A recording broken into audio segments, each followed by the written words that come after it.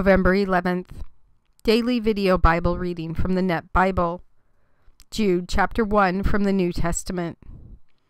From Jude, a slave of Jesus Christ, and brother of James, to those who are called, wrapped in the love of God the Father, and kept for Jesus Christ. May mercy, peace, and love be lavished on you. Dear friends, although I have been eager to write to you about our common salvation, I now feel compelled instead to write to encourage you to contend earnestly for the faith that was once for all entrusted to the saints.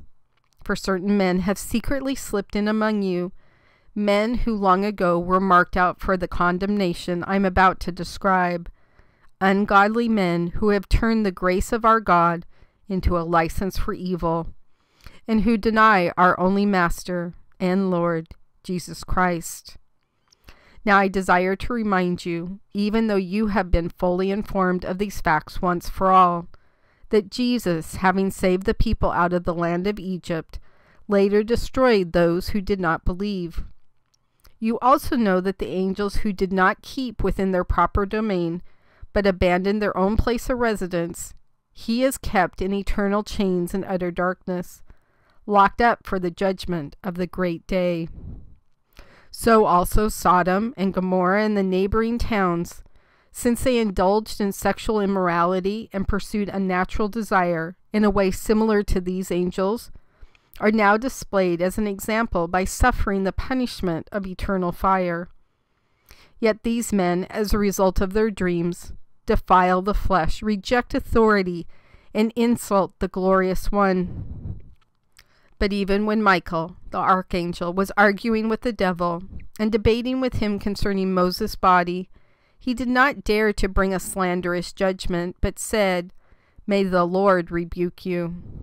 But these men do not understand the things they slander, and they are being destroyed by the very things that, like irrational animals, they instinctively comprehend. Woe to them, for they have traveled down Cain's path and because of greed have abandoned themselves to Balaam's error. Hence they will certainly perish in Korah's rebellion. These men are dangerous reefs at your love feast, feasting without reverence, feeding only themselves. They are waterless clouds, carried along by the winds, autumn trees without fruit, twice dead, uprooted, wild sea waves spewing out the foam of their shame, wayward stars for whom the utter depths of eternal darkness have been reserved. Now Enoch, the seventh in descent, beginning with Adam, even prophesied of them, saying, Look, the Lord is coming with thousands and thousands of his holy ones to execute judgment on all, and to convict every person of all their thoroughly ungodly deeds that they have committed, and of all the harsh words that ungodly sinners have spoken against him. These people are grumblers and fault finders who go wherever their desires lead them, and they give bombastic speeches, enchanting folks for their own gain. But you, dear friends, recall the predictions foretold by the apostles of our Lord Jesus Christ. For they said to you, In the end time there will come scoffers, propelled by their own ungodly desires. These people are divisive, worldly, devoid of the Spirit but you, dear friends, by building yourselves up in your most holy faith, by praying in the Holy Spirit, maintain yourselves in the love of God while anticipating the mercy of our Lord Jesus Christ that brings eternal life. And have mercy on those who waver. Save others by snatching them out of the fire. Have mercy on others, coupled with a fear of God, hating even the clothes stained by the flesh now to the one who is able to keep you from falling, and to cause you to stand rejoicing without blemish before his glorious presence, to the only God, our Savior, through Jesus Christ our Lord, be glory, majesty, power, and authority before all time, and now, and for all eternity. Amen.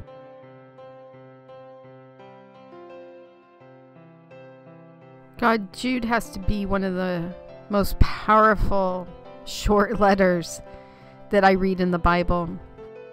He has a passion for people diluting the power of your gospel or completely uh, being conniving and doing things for evil intent.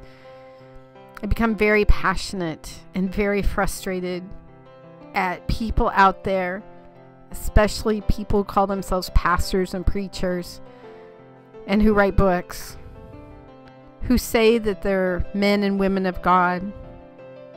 And if you listen to their words, they don't match up to what the Bible says. I, I think that Jude, brother of Jesus and James, and I would have got along well. Um, because that's kind of my passion. I'm very vocal about it.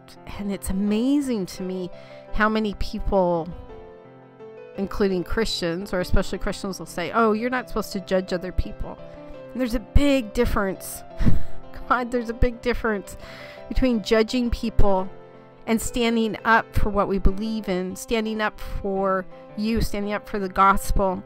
Um, and also, as Jude talks about, protecting other people from these people. You know, there's so many people who listen to these charlatans on TV, and they may be baby Christians and they're getting all of the wrong messages. And it is truly our responsibility to stop that. Um, and I'm pretty clear about that, and Jude's pretty darn clear about it as well.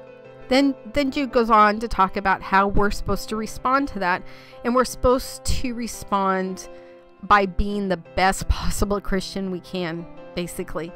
We are supposed to walk the path that you've given us, God. We are to be obedient and humble. We are to pray. Uh, prayer is a great protection, so we don't fall away from what it is that you've asked us to do. Now, Jude goes on to talk about in verse 21 while anticipating the mercy of our Lord Jesus Christ that brings eternal life. So we know that if we are truly saved, that you will sustain us. Uh, we may get off track, we may mess up. Okay, we will mess up a lot. Um, but you will sustain us and you will bring us, you, has nothing to do with us, you will bring us into eternal life. So, again, in such a short letter, Jude covers a lot of different topics about how um, we need to be wary of the people and, and what they're speaking uh, in churches, um, preaching, talking about the Bible. Uh, then he shows you how to respond to those people. And then there's this beautiful doxology at the end to you, God.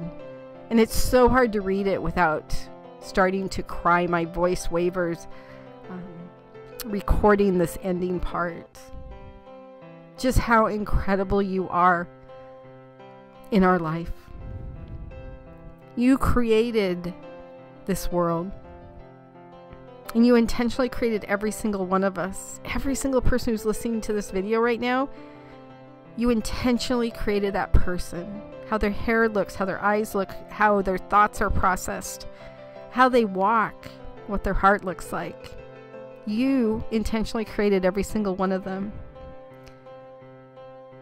Then you sent your son to the cross to die a horrid death for us for our sins that we do every day. And he took on all those sins on the cross so that we could be forgiven and we wouldn't be separated from you anymore. And then you love us even more and you give us this freedom in this incredible expanse of grace.